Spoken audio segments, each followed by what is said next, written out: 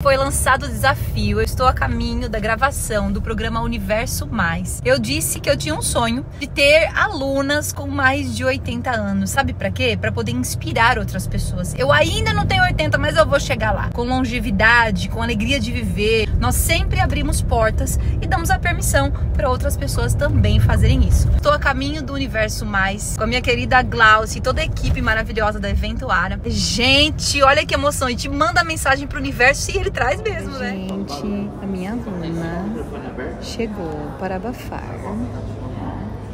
Linda.